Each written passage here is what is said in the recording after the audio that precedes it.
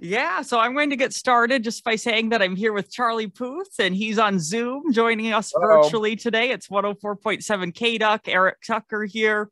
So, Charlie, your new album, it's coming out in October. Tell me about that. October 7th. This is a album that kind of started in 2021 where I make all of my music after I get off stage playing for 10,000, 20,000 uh, fans, and I'm fortunate and blessed enough to say that. But during the pandemic, obviously there was there were no concerts, and I had to approach my songwriting in a new way. So I turned to the virtual audience and just involved TikTok and Instagram Reels and YouTube Shorts and everyone wherever you watch my content online. I involved everybody um, in the musical process of it all. Yeah, you've been making a lot of waves with that too, just how, with how active you are with your fans on social media too. I I see a lot of your posts go viral because of everything that you're doing. So well, I that makes me happy, and if I can be any source of inspiration for uh, anybody watching, maybe you don't, maybe you're not even a musician and you want to start making music. I would love for you to do that and send me a song. Yeah, and I heard that you're doing like a master class now.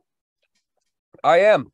That was that was one of the hardest things to film because it's it's it's about seven hours of filming a day, and you have 15 cameras on you, and you come up with ideas and songs, and I'm just like coming up with these ideas and they're like okay so how did you think of that just now? I'm like i don't know. It was like god it just fell out of the sky. So i have to really be patient and uh, try and be the teacher, if that makes sense. So it's challenging but rewarding.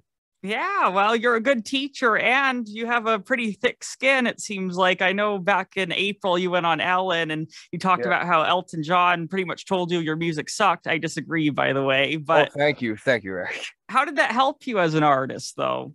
It, you know, it was, it, it actually wasn't um as harsh as I made it out to be on the Ellen show. He was very honest with me and he was basically just reaffirming something that I knew to be true and that was that I needed to make the music myself. And ever since he said that that's what led me to this album which is coming out as you said October 7th.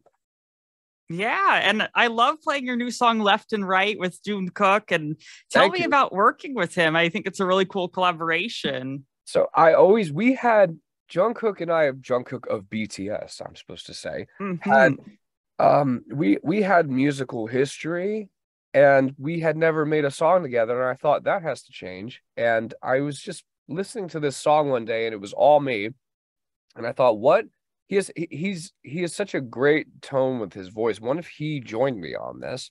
And he added a completely different element sonically to it and just made it incredibly special. So I'm very happy to have him uh, on this record with me, and uh, I'm super.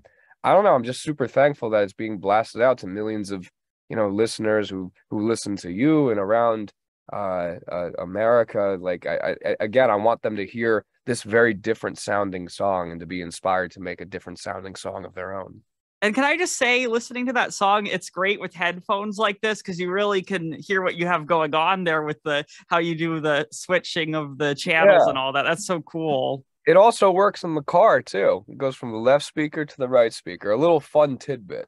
Yeah, definitely. Well, I'm enjoying it and I like playing it here on KDUK. And I actually watched your YouTube performance and you performed that for the first time at the Today Show Summer Concert Series. How was it performing in New York City?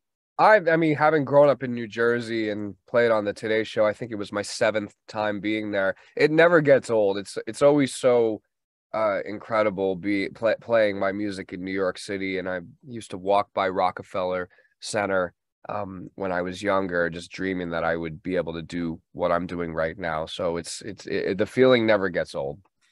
Yeah, and speaking of places you've performed, do you have a favorite place that you've performed so far? Ooh.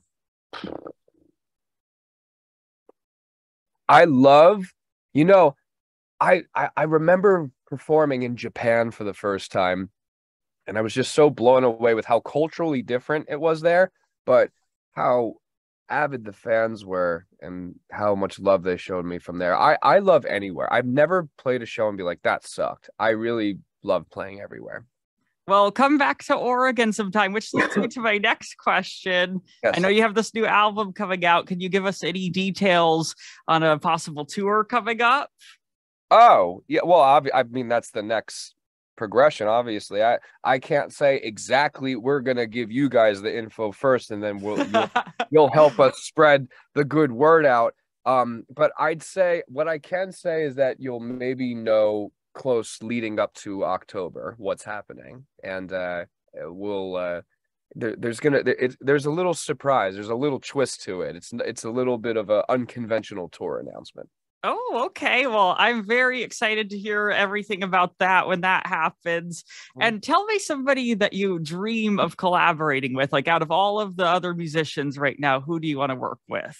I you know, I want to work with musicians and non-musicians alike. Like I really love the sound of your voice. I feel like I could get you to sing like one particular part and like maybe like put some effect on it and maybe make it a hit record and you can play it on your own station. That would be cool. But I, I'm, you know, Beyonce, anybody who is culture pushing and wants to uh, uh, not remain the same musically at all times, I want to be around because that's how I want to be as well. Yeah, awesome. And by the way, thank you so much for being so cool to the LGBTQ community. The, the community really appreciates it. So of, of course, yeah. It's I, I I love LGBTQ plus taste in music, and I live very close to um uh, West Hollywood, and it always is so much fun just rolling down my windows and just listening to. They, they listen to a lot of Britney Spears, but uh, all, I always I always get ahead of the trend on dance music when I pass by those clubs. So much love to LGBTQ plus community, everybody. Woohoo! And I love WeHo. I've definitely had some good times there. So yes, I actually I've had some of my best nights on that strip. So Let's get it. yes. Well, Charlie Puth's new album, Charlie, comes out on October 7th. And I know that there's a way to pre order it. Can you tell me about that? Well, I don't know all the technical stuff, but I know that you can go to my website and there will be a big, large button that you can hit to pre order that album. You can purchase some tapes and cassettes because those are popular again.